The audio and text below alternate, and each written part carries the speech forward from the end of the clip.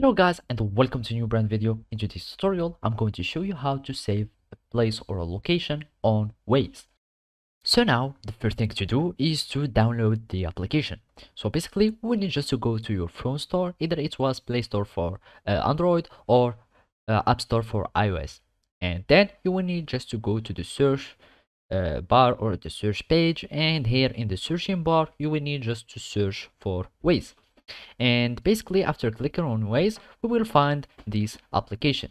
And all you need to do is to click on this application and then you will have this one. And you will need just to click on download or install depends on uh, your phone that you are using or the operating system that you are using.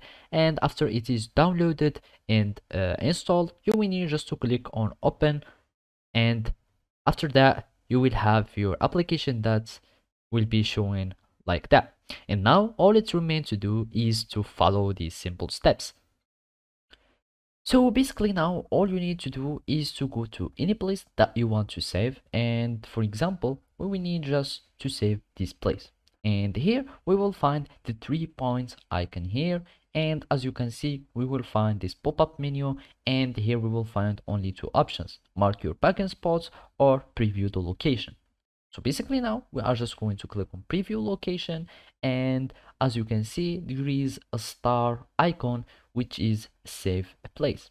We click on save place and then you can set this place however you want. You give it a name and then you click on done and you will have your uh, place that will be saved on your phone or on your application. So basically this is how you can do it. Thank you for watching and see you next time.